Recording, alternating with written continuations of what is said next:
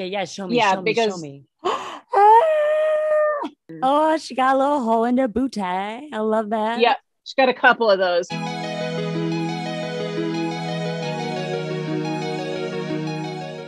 Hi, everyone. Welcome back to My Lady Disdain. I'm still Sandy, and what you're about to see is the final part of my collaboration with Cat from MagicalGirlKitCat Gaming. We're going to start with some footage that I recorded of the construction of my part of the project, which I'm very excited about. Then you'll be in on a video chat where I reveal it to Cat, which was just hysterical.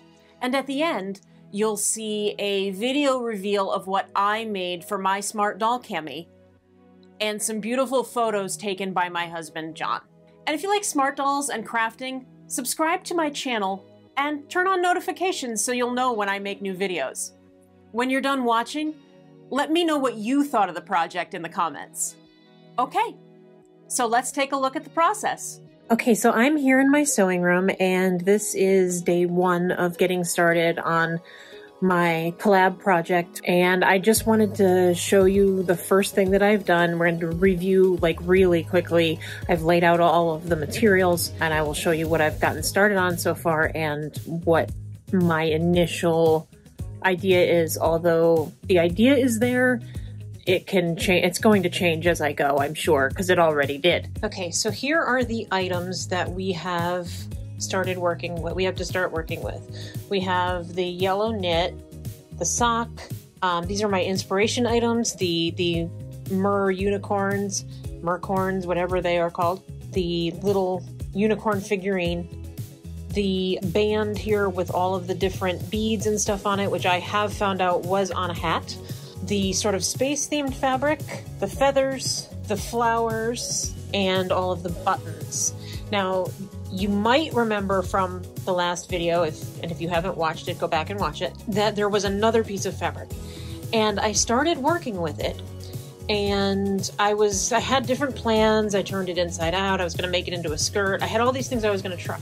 One of my favorite techniques to do when doing fairy things is shredding. So I cut a small strip off of that other fabric to see how it would shred in a circle. And when I pulled it, it became yarn. I mean, like really easy to work with stretchy yarn. So I am doing a fairy project and I created a new textile. So I knitted this. I used a stockinette stitch and uh, knitted several rows and I left one long piece and we'll you'll see what I do with that. Yeah, I'm really excited about this. I'm really really psyched about the way that it turned out. Right now it's pinned here and then I'm going to take it down and steam it and make it nice and flat because stockinette has a tendency to want to roll right after you finish it. But I just love how this turned out. It was like an interesting tie-dye. I'm really psyched about how this turned out. Okay, so Cami is here and she is modeling the first piece of my fairy costume. I opted to turn the stockinette to the purl side. Um, I kind of like the way it looks. It kind of looks like stones or something.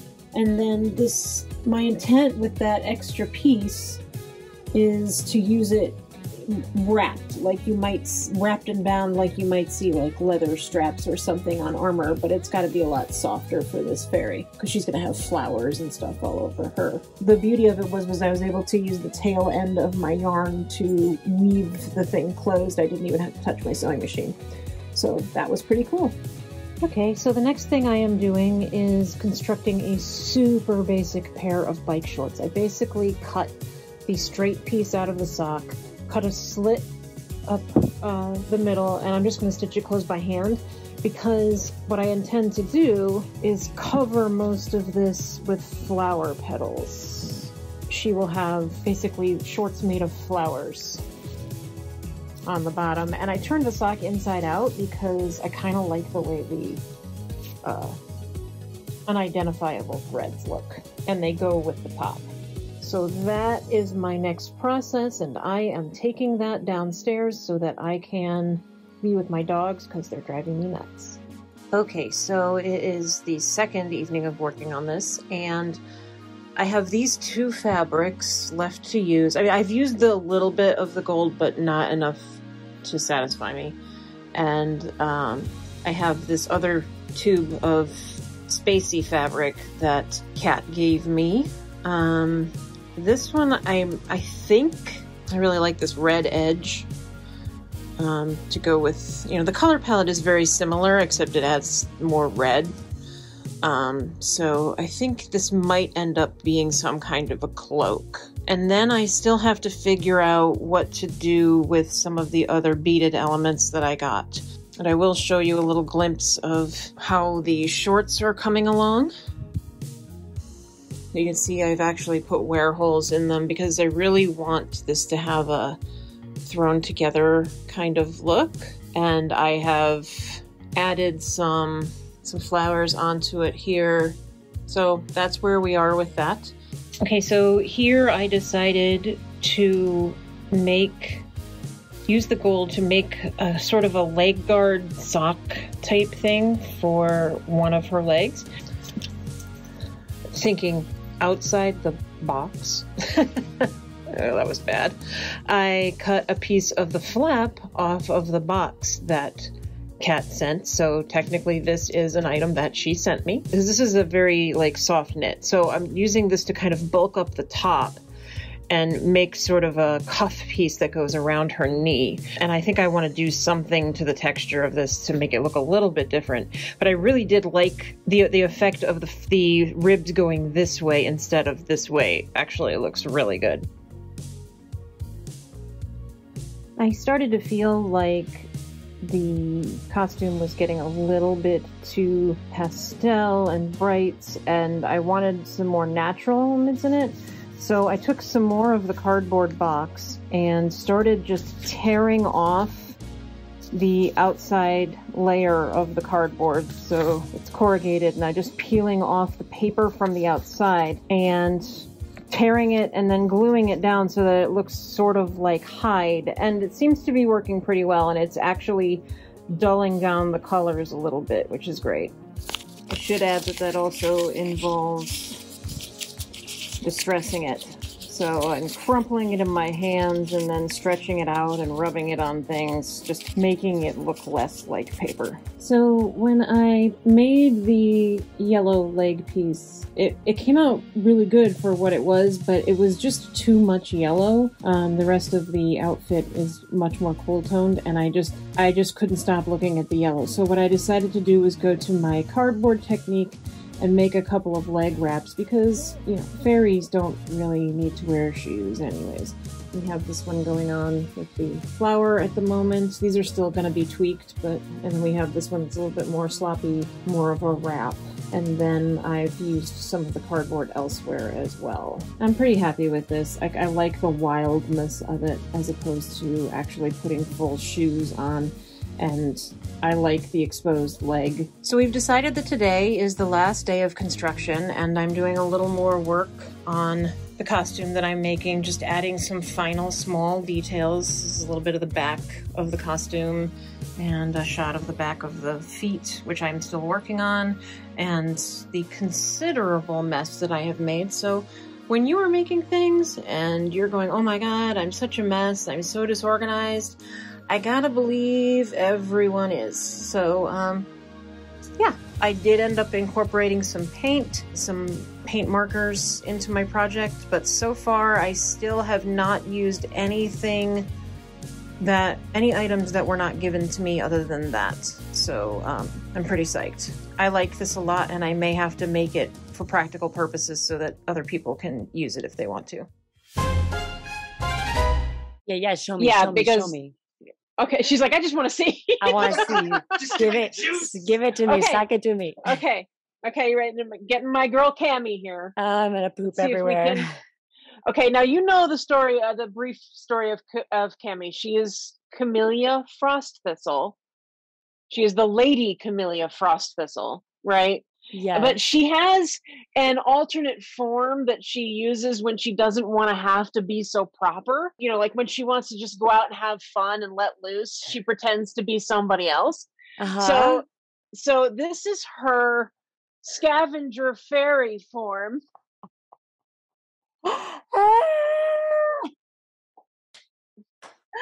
oh my So- god. I'll start at the feet here. Um, I I use the gold like as a as a foot wrap. Um, Yes. Those are is- sick. this is the fabric, and then I kind of had a, a jolt of inspiration, and I said, "This is actually not cheating." I weathered out the um the cardboard. I used like you know, I pulled it up and I like rubbed it and scrubbed it and made it into like uh like hide. That's genius. Whole Mike brilliant.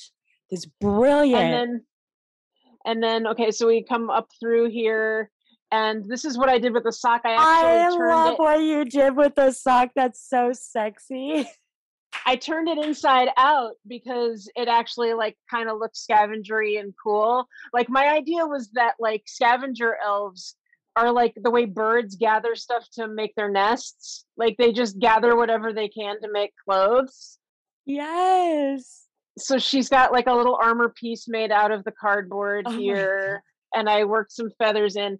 Now this is what i was trying to tell you about that i didn't tell you about which was i actually started out with your fabric that you sent me with um trying to shred it and i was like when i shredded it i pulled on it and i went it's yarn so i cut it all into like a half inch strip and I I knit stockinette stitch to make this whole top thing, and then used the ends to create this sort of binding that's going on. So anywhere you see like yarn type stuff, it is actually your fabric that I've pulled and stretched into yarn. And I'm like, I'm loving it. I was just like so psyched. I keep looking because Ben is like peep. He's peeping. He's peeping. He can see some of this. He can come look. He's This you know, is he's part freaking. Oh my god! Like it's freaking brilliant. The cardboard, what you do with the sock, and like how you thought to shred and do my. I'm speechless. This is fucking cool. okay i think phase two is going to like just drive you over the edge so let, let me get phase two for you Oh my god. I am amazed. She used parts of the cardboard box. The box to do like this like leather like skin kind of a look for piece she's brilliant. The woman this is, is taking me a second I am amazed. And it's funny because like so I pre- made a prediction that what I thought you were going to do and my hypothesis was that you were going to do like a Moana Hawaiian like beachy girl. That was my prediction. I was so far off. I was so far off. She looks amazing. Like she looks so hot. Like she's wearing um she's wearing Mm. Chitose multiverses wig which looks great. Like she looks like you don't want to, you do not want to fight her. Like Okay. don't you encounter her in the woods and you best you best run, son. okay so i have lifted up her hood eh i can i'll pull her back here there we go Ah, she's got a galaxy. Now, I don't know, like if you, might be able Mm. to guess what this is for. I'm not sure if you look at how her arm is. Okay, so give me one second. Um, this is the the I call him the unicorvid. He is her. uh, You know, they don't do falconry. She has a unicorvid. Oh my god. I am obsessed with him. She's all set to you know tell him where to go here. So we'll pull her back again. He's perfect. Oh my god, I love that you. T- I was wondering. I was like, is she gonna use that little unicorn? The cape is stunning. I love the It's I did the hung the feathers off The of it. feathers are beautiful with the flowers. Oh my god! And I love how you use the buttons as like. like That's her gather- lure. Yeah, so cool. That's that's that she can throw that for for him, so that he can retrieve it. He's so he's You so cute. Get him a little. I even gave he got a little bit of a a, horn enlargement Oh, because when I started adding all of the feathers, and actually you can see he's got some little uh petal wings underneath too. I Um, want I want him so bad. um, He's so he cute. he's uh he he his his when I started adding all the feathers, the the I needed to make the horn bigger because it was just like getting overwhelmed. But yeah, he looks great black, doesn't he? He looks amazing. Like he looks like he's that's like what he was meant to be. Um, I love how you incorporated the cords from that uh that hat that I had. And then do you also have some of the beading around the top of the shirt? Yes. Uh, Yep. Oh, Let me actually I'll take her cape off so that you can see the rest of the costume the better. cape, the cape is beautiful. I love it. So the cape, but those weird pieces of fabric that I sent to you were face masks. Oh, were they? Face masks. They were gaiters. Okay, I thought that might have been what they were, but I wasn't sure. I think I said that too. So I yeah, love that. Then I added a little piece. I cut some of the flowers apart so that I could just use petals, so that they would be a little bit less. Is that the metal? Um, yes. The pen thing. the pen thing. Oh my god! with I some feathers it. in it. I just like I I am like I am so love. I'm going to be doing this more often. I love this uh um the stretched fabric becoming yarn and the binding and stuff. And I was like saying I'm like I probably should like figure out a way to make this costume and make it like more removable. Like I think I could do it and get it back on, but I I'm not sure. I this was like nothing that I could have predicted, like not even a little bit, but it looks so amazing. All the little details are they're just fantastic. Like she totally like has a story. Like she has this whole character going. It's just really awesome. I'm so amazed. I'm amazed with what you did with that top, with like shredding it and it just I can't yeah when i cut it into a strip it just like eh, w- when you take that that jersey fabric when you cut it into a strip when you pull it just kind of rolls in on itself and just keeps stretching and becomes yarn so like you can and then the sock too the sock is actually i stretched this this is like a thin piece of the sock that i And You've stretched and got a tied bead, around some more beading on there. That's so cool. yeah there's beading on her butt and Oh, she got a little hole in her booty. Eh? I love that. yeah she's got a couple of those off just was that like, I- dunk. yeah. well, yeah, I mean, she's a smart doll. I mean, you know, they got they got that dunk. Yeah. yes, they do. That is amazing. I am so absolutely just impressed. Like I wasn't gonna be impressed. Thanks. We, yeah, we we had a we had fun. Me and Cammy making this. We we had a good time, Cammy, and I was like walking around singing singing songs. To, I was singing silly songs about the unicorvid, like you know, he's a unicorvid doing his unicorvid stuff. Like was having the best time.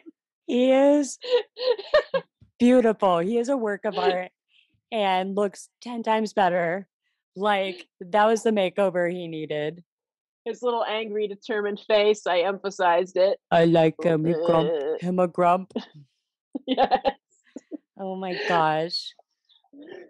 So challenges were um i tried to like i, I and it, the biggest challenge i had to overcome was trying to to to dull things down a little bit because the colors were very bright and i wanted her to have a more earthy kind of feeling so Sure. I, I when i thought of the cardboard i was like even just these little bits of cardboard like brought it down a peg you know um and then uh let's see what else i wanted to try and use everything and like because of the nature of what I tried, what my theme was. It was like I could keep adding stuff, but it just started to get muddy and I had to pull back. Yeah. You know? Well, it's like like I had texted you. I I could I was using bits and pieces because like it would be overwhelming to use all of the fabric, all of like some of those pieces. So no, I think it looks it looks amazing. What was the most fun piece? Like what was like that moment that you had where you were like struck by inspiration? Where like maybe you had Um, no idea what to do with it, and then all of a sudden you're like, "Oh, yep, this is what we're doing." Um, I I would say the the knitting for one thing, and then remembering that you can grab knit stitches and pull them up and do fun like lace type things, and that's where the neck piece came from. And then I love the binding effect. Ooh, she's gonna fall over. I love the binding. Like that was fun. That in itself is is art. Like trying to figure out how to create interesting designs and stuff. And and it actually is an art of sorts. And I forget what the actual term is, but um but yeah, I think that was probably it. I was like figuring out how to to bind things and and and when the brainstorm of the of the uh the knitting was was huge. And that actually happened fairly early and after that it was just like oh my gosh, I've always wanted to make a scavenger fairy. Like I when I, I directed Midsummer Night's Dream several years ago and I built all the costumes and I really wanted my fairies to be scavengers, but we just didn't have time to really flesh it out. So um, getting to make Cammy into a scavenger fairy was kind of cool. Isn't that the beauty of Smart Doll? Is like just being able to realize things. I even like cosplay, you know. I don't to cosplay something for a full size person is like ah, but like being able to do it on a one third scale size is just like I don't know, just feels like it's more possible. Yeah. And you can be what you can do whatever you want, you know. Like I mean, it doesn't matter if you actually like look like the person or whatever. You can just it's whatever you want it to be. And these girls can be whatever we want. And you know, we they're kind of like I don't know about you. I, no, actually, I do know. Like both of us have like have said that the dolls like reflect us in certain ways. Yeah, like know? they're I don't I they I consider them people. Like I talk like they have like I guess a soul. Like there's just something about them. So yeah. They're Yeah. people. They got personalities. hmm hmm Okay, so Cami is um is waiting to see your reveal, and otherwise you're going to have to deal with the unicorvid, Can I and you don't. You do not want to deal with the unicorvid. Whoa, whoa, whoa. You didn't think you were going to be able to see cat's side of the project here, did you? No, no, no. You have to go to MagicalGirlKitCat Gaming and she'll show you her project. And if you don't, the Unicorvid isn't going to be very happy, and no one wants that. But before you go, let's have one last look at the scavenger fairy, including some photos from John's photo shoot.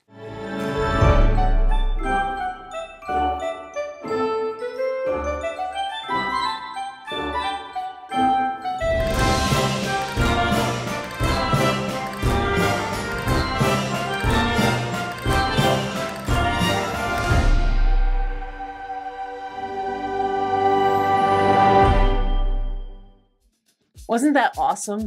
I just love those photos. For more of the photos from the shoot, you can follow John on Instagram at Smart Doll Folio. And to keep up with me, you can follow me on Instagram at My Lady Disdain with underscores. Thank you, Cat, for being up to the challenge. It was so much fun to do. And I'm so glad that we were able to do this together and that we've become friends. And thank you all for watching. I had so much fun doing this project, and if you had fun too, please like this video so that we can bring you more of this in the future. Until then, we'll see you soon. Bye. He's a unicorvid, doing his unicorvid stuff.